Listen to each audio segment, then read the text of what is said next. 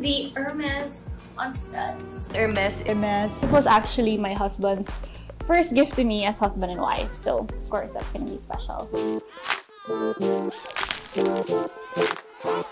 My first Hermes Birkin bag. So this is a chocolate color, 35 cm in silver hardware.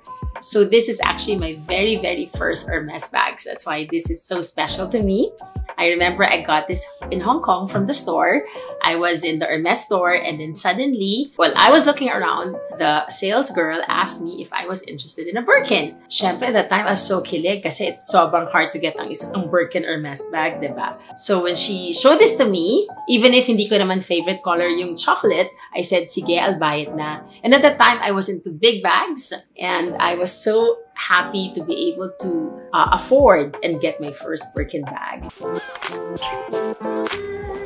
The Hermes on studs bag.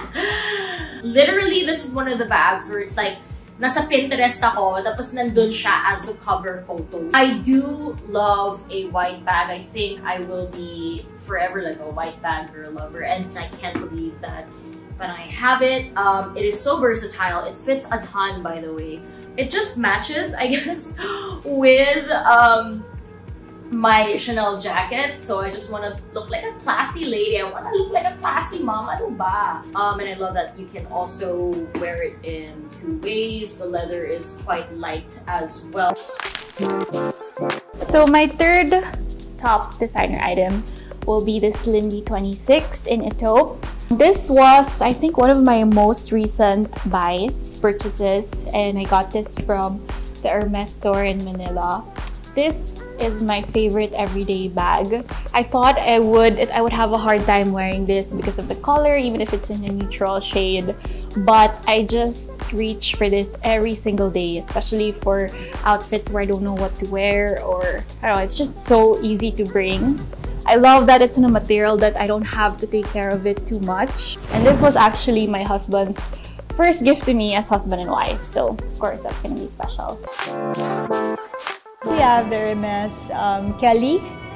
It's the Celeste color, so that's really light blue color. And then inside, you will see it's a different color. So, two-tone siya. I think it's Mykonos, this one. Yan. I love this Kelly because the shape is pretty classic. The seller came out with this and um, it was brand new, it was never carried. And then si Kali said, Mama, I think I like this color. I have brought this in many of our travels. I like traveling with it. The leather is super sturdy. May strap pa siya, so I like that because tayong mga mommies, we like things with straps. This one was an unexpected piece and I also never thought I'd be able to get this because right now in Hermes, it's pretty hard to get bags, like sold out lahat and all. I was just very lucky to be able to get this piece.